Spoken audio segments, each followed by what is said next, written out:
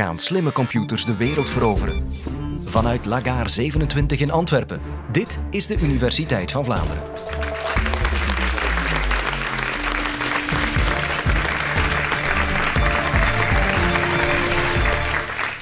Binnen 100 jaar leeft er geen enkele mens meer op deze aarde. In de plaats daarvan rijden hier robots rond die zelf beslissen wat ze gaan doen. Ja, zelfs gevoelens kunnen hebben voor elkaar en ja, zelfs verliefd kunnen worden op elkaar. Dat zijn niet mijn woorden, dat is niet mijn voorspelling. Het is een voorspelling die ongeveer 10 jaar oud is. En volgens die voorspelling zien die robots er zo uit. Nu, Wally is uiteraard een verzinsel in een film en in films wordt zeer dankbaar gebruik gemaakt van het idee van slimme computers. En sommige computers zijn zo schattig en lief als uh, Wally. Andere computers hebben veel slechtere bedoelingen met ons, zoals Terminator hier. En is het effectief wel zo? Is het zo dat we misschien binnen 10, 50, misschien 100 jaar slimme computers gaan hebben, slimme robots, die ons allemaal gaan overheersen, die echt onze wereld gaan veroveren?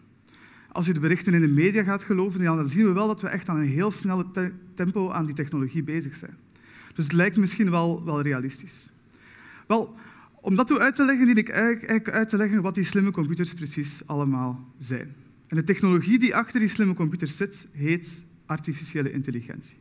Nu, wat is artificiële intelligentie? De beste definitie die je kan geven is een artificieel intelligent systeem is een systeem dat zelf code schrijft. Wie van jullie heeft ooit al eens code geschreven op een computer, iets geprogrammeerd, hoe klein ze ook? Steek eventjes jullie hand op. Dat is toch al heel veel mensen. Als jullie dat gedaan hebben, dan weten jullie dat code schrijven een zeer gedetailleerd werk is. Je moet in elke omstandigheid gaan uitleggen wat die computer moet, precies moet gaan doen. En dat is zeer complex soms om, om uit te voeren. En een, bij een artificieel intelligent systeem doen we het helemaal anders. Dan gaan we eigenlijk gewoon aan die computer gaan zeggen, kijk, dit is het doel, en zoek zelf maar uit wat de beste manier is om dat doel te gaan verwezenlijken. En die allereerste artificiële intelligente computer die dateert eigenlijk al van de jaren 50. In 1950 uh, eh, wou Arthur Samuel, een uh, professor, graag een uh, computer maken die zelf kon dammen en die zelfs Arthur Samuel kon verslaan in het dammen. Nu, Arthur Samuel was ja, relatief goed in het dammen. Dus hoe doe je dat dan? Hoe bouw je zo'n computer die je zelf als goede dammenspeler kan gaan verslaan in het, in het dammen? Wel, je zou kunnen zeggen, ik programmeer het op de oude manier, dus ik steek er een bepaalde spelstrategie in. Maar het probleem dat je dan hebt, is dat je, ja, als je daar een bepaalde spelstrategie in stopt, ja, dan kan die computer perfect, of kan Arthur Samuel perfect weten welke spelstrategie hij daarin gestopt heeft en daar een eigen strategie op gaan, gaan voortbouwen en uiteindelijk terug weer gaan winnen van die uh, computer in het dammen. Wat hij in de plaats gedaan heeft, hij heeft die computer gewoon laten leren, of laten spelletjes spelen dammen. En die computer heeft honderden en honderden spelletjes gespeeld in het dammen. En heeft zo eigenlijk zelf geleerd welke zet een goede zet was en welke zet een veel minder goede zet was in welke omstandigheid. En zo bouwde hij eigenlijk een computer die automatisch uit het niks kon leren hoe hij moest dammen. Natuurlijk, met dammen gaan we de, de wereld zeker niet gaan veroveren. Maar dat is ondertussen al zeer lang geleden. En in die tijd is er, zijn er heel veel belangrijke evoluties geweest in de artificiële intelligentie. En ik zou er graag twee evoluties aan uh, uitlichten. De eerste evolutie is dat we meer en meer erin geslaagd zijn om slimme computers te leren praten met elkaar. Of beter praten met ons ook. Een computer is typisch niet zo goed in uh, het onthouden of het begrijpen van taal, en het begrijpen van nuances en het begrijpen van uh, ironie. Rekenen kan hij heel goed, maar al die taal en al die moeilijke zaken zijn voor hem heel, heel moeilijk. Maar toch zijn we de laatste jaren erin geslaagd om beter en beter die systemen te bouwen, om echt elkaar te gaan begrijpen in, de, in taal ook. En die eerste grote, goede computer die ons kon begrijpen in taal was de Watson-computer. Nu, Watson is een computer van eh, IBM. Uh, eh, en dat is een zeer grote databank vol met kennis. En aan Watson kan je heel veel kennis vragen. Je kan gewoon een vraag stellen en Watson zal je een antwoord geven. En die kan ook effectief jouw vraag perfect gaan begrijpen. Nu, om Watson zijn kennis te gaan uh, tentoonstellen, heeft Watson een, een, zestal jaar geleden deelgenomen aan het Amerikaanse televisieprogramma Jeopardy. Jeopardy, onder jullie misschien gekend onder de naam Waagstuk, ooit nog gepresenteerd door Luc Appermond lang geleden. Nu, hoe werkt Jeopardy? In Jeopardy krijg je geen vraag voorgeschoteld. Nee, je krijgt een antwoord voorgeschoteld. En je moet de vraag erbij verzinnen. Dus een zestal jaar geleden speelde Watson tegen de twee beste kampioenen ooit van, um, van Jeopardy. Twee kampioenen die miljonair geworden zijn in het spelen van Jeopardy. En wat bleek? Watson versloeg ze altijd met een vinger in zijn neus. Hij kon gewoon alle vragen perfect uh, beantwoorden. Of toch zo goed als alle vragen perfect beantwoorden. Nu, dat is ondertussen al zes jaar geleden. In artificieel intelligente termen betekent dat ongeveer een eeuwigheid. En we zijn beter en beter geworden in echt elkaar te gaan uh, begrijpen. En ik wil graag daar een kleine demonstratie van geven vandaag, hoe goed we geworden zijn als computer om elkaar te gaan begrijpen en om echt te gaan spreken met zo'n computer. Ik zou daarvoor graag een proefpersoon uit de, de zaal halen. Dus wil er iemand misschien zich kandidaat stellen om even een experiment te gaan doen? Ja. Blijf maar nog eventjes zitten. Ik ga zo eerst uitleggen wat de bedoeling is. Wat we gaan doen is het volgende. Dus we gaan gewoon een gesprek opstarten met zo'n slimme computer, met een chatbot. Op dit moment loopt er een wedstrijd. Verschillende universitaire teams zijn aan het proberen de beste chatbot te maken.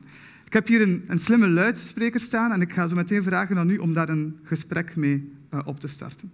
Nu, elk gesprek is uniek, dus het kan zeer goed aflopen, het kan ook zeer slecht aflopen, maar we gaan heel goed kunnen zien of we nu echt een leuk of een heel saai of een heel dom gesprek hebben. Kom maar eventjes op het podium. Geef haar eventjes een applaus, alsjeblieft.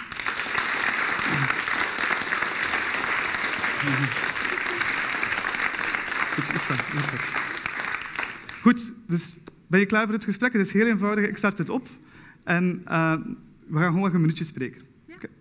Alexa, let's chat. Hi, this is an Alexa Prize social bot. How's your day? My day is okay, thank you. How's yours? I'm doing great. Do you want me to list some popular topics that we can chat about? That would be great, thank you. Great. Here are two topics you might find interesting. You can say the first topic to talk about football. Say the second topic to talk about power lines. To hear other topics, please say next. Next. Here are two other topics you might find interesting. You can say the first topic to talk about YouTube video. Say the second topic to talk about Tom Petty. Uh, the first topic. It looks like you wanted to talk about YouTube video. Did you know that you can check video FPS slash KBPS debug info on any YouTube video if you right click the play button? No, I did not. Uh huh. Did you know how to stop a YouTube video from downloading? Just right click on it. No, I did not. Oké, okay, ik denk dat we het hier af, moeten afronden. Dank je wel, uh, Alexa. Did you know that it Goed. Goed, hartelijk dank. Geef haar een applaus.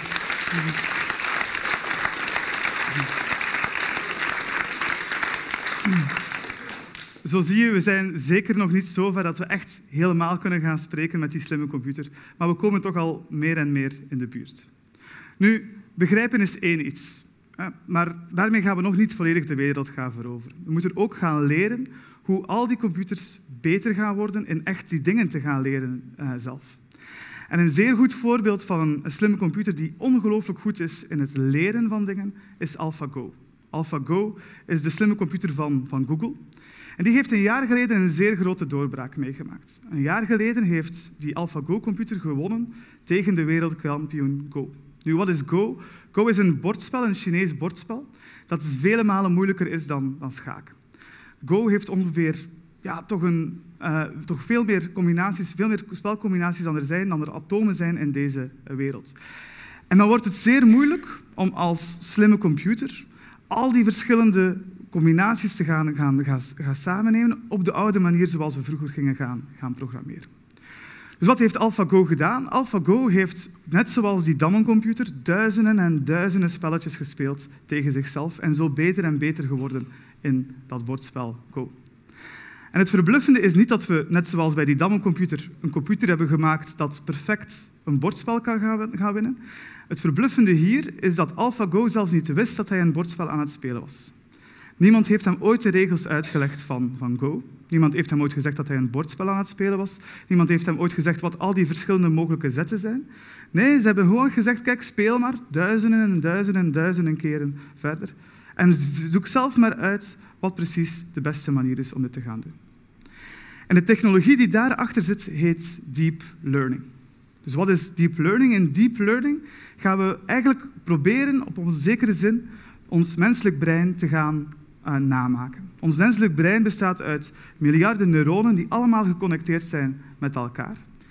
En in deep learning gaan we juist hetzelfde gaan doen. We gaan eigenlijk kleine combinaties gaan maken, kleine neuronen, kleine stukjes software gaan maken die een heel kleine berekening gaan, gaan uitvoeren. En die kleine berekening gaat iets heel kleins eh, berekenen. Bijvoorbeeld, ik bekijk jullie nu allemaal, ik zie iets op mijn netvlies. Wel, ik ga een hele kleine berekening op basis daarvan maken. Die volgende neuronen gaan eigenlijk een meer complexere berekening maken. En een volgende reeks van neuronen gaan nog een meer complexere berekening maken. En dat, die structuur van lagen en lagen en lagen is exact wat zo'n deep learning netwerk gaat gaan maken. Dus we gaan eigenlijk een eerste berekening maken. We gaan en bijvoorbeeld van een bepaald beeld de pixels gaan bekijken. En die pixels worden, gaan we vervolgens gaan combineren in verschillende contouren.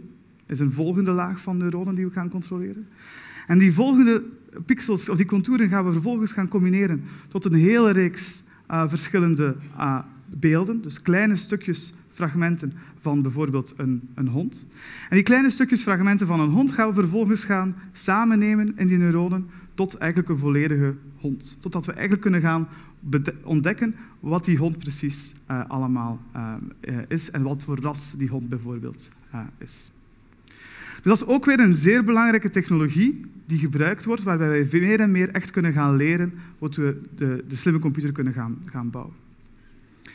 Die technologie wordt bijvoorbeeld heel vaak ook gebruikt in zelfrijdende wagens, om bijvoorbeeld rondom ons te gaan weten, ja, wat is er hier nu allemaal rond die wagen aan het, aan het rijden. Dus enerzijds hebben we slimme computers die ons beter en beter begrijpen. We hebben computers die zo slim, slim zijn dat ze kunnen dingen leren waar wij eigenlijk veel, waar die veel beter zijn dan wij zelf. Ja, dan is het waarschijnlijk maar een kwestie van tijd voordat die slimme computers ons echt volledig gaan veroveren. En als je het Elon Musk vraagt, de man achter de zelfrijdende wagen Tesla, dan is dat ook zo. Hij noemt artificiële intelligentie de grootste bedreiging voor de beschaving. En hij roept op om zo snel mogelijk die technologie zoveel mogelijk te gaan reguleren. Nu, mensen die dag in dag uit met artificiële intelligentie bezig zijn, die zijn daar eigenlijk veel minder van uh, overtuigd. En dat is niet omdat zij daarmee bezig zijn, nee, dat is omdat zij heel goed weten wat die technologie precies doet. Ja, die computers kunnen ons veel beter gaan begrijpen. Ja, die computers kunnen in bepaalde taken echt veel beter worden dan wat wij ooit gaan kunnen doen. Maar wat die computers absoluut niet hebben, is zelfbewustzijn. Ze hebben geen gevoelens. Die computers gaan nooit morgen zeggen: hey, ik ben nu al weken en jaren aan een stuk uw gras aan het afrijden. Het is nu echt gedaan en ik ga iets helemaal anders gaan doen. Dat zit er gewoon echt niet ingebakken in die computers. Als er daarentegen wel nood is aan regulering, dan is het misschien dat de grootste bedrijven, Amazon, Facebook, Google, dat zijn eigenlijk tegelijkertijd de grootste pioniers van artificiële intelligentie. En zij doen dat omdat zij zelf ook zoveel mogelijk data al van u hebben. En als zij er natuurlijk in slagen om al die data te gaan, gaan combineren en nog meer te gaan weten, ja, dan gaan ze natuurlijk uiteraard nog veel meer weten van uzelf. Dus er is misschien wel nood om nog meer dan vroeger die privacy heel sterk te gaan bewaken. Dus computers die onszelf gaan, of die wereld gaan veroveren, dat is zeker niet de toekomst. Wat is dan wel de toekomst? Wat ik wil er graag misschien nog heel kort twee uh, uitpikken. De eerste belangrijke evolutie die we gaan zien in de toekomst is dat we die artificiële intelligentie computers gaan plaatsen op een kleine chip. De dag van vandaag zijn artificiële computers heel centraal. Watson is ongeveer een 700, 700 servers uh, groot. Het is echter zo dat als we echt intelligente systemen willen gaan bouwen, dan moeten we die gaan bouwen net zoals wij zelf allemaal zijn. Die chip moet eigenlijk bij ons kunnen komen, zodanig dat wij zelf die chip hebben. Wij vragen nooit aan Google hoe wij nu precies uit het bed moeten stappen of hoe wij nu de trap moeten gaan aflopen. Dus we proberen nu meer en meer om echt zo'n zelflerend systeem op een chip te gaan plaatsen. En zeer recent hebben, belangrijke, uh, of hebben collega's van mij aan het onderzoekscentrum IMEC daar een belangrijke doorbraak in geleverd. Zij hebben een artificieel intelligente computer gemaakt die zelf minuetten kan schrijven, dus barokke uh, liederen. En ze hebben die gewoon een reeks liederen gegeven En uiteindelijk dan aan die liederen gevraagd, uh, of aan die zelflerende chip gevraagd, maak nu zelf een menuet. En dat klonk zo.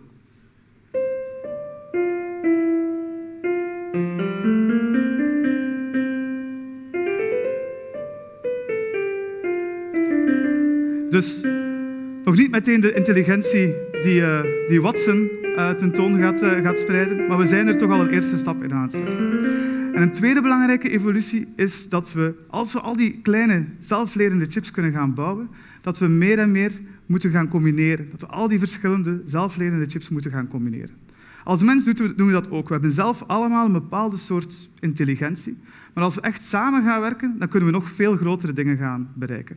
En dat is exact wat we ook heel sterk moeten gaan benadrukken. We moeten meer en meer die zelflerende chips gaan combineren om een veel groter systeem te gaan bouwen. Een beetje zoals vogels, die zelf heel individueel allemaal een bepaalde intelligentie hebben, maar als je ze allemaal samen gaat, gaat brengen, ja, die gaan die eigenlijk nog een veel grotere intelligentie tentoonspreiden.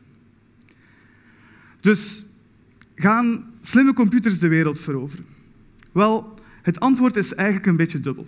Aan de ene kant dan gaan die slimme computers, zoals bijvoorbeeld mijn, mijn robot Roosje hier, dan gaan zij de wereld veroveren. Want ze zijn de wereld al aan het veroveren. Artificiële intelligentie is echt overal.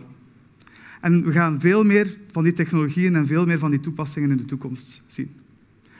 Als we daarentegen denken dat ons roosje hier uh, morgen ons allemaal gaat overheersen en echt onze mensheid gaat inpalmen, ja, dan ben je eraan voor de moeite. Tot daarvoor moet je voorlopig nog altijd bij de film zijn. Is het niet waar, Roosje?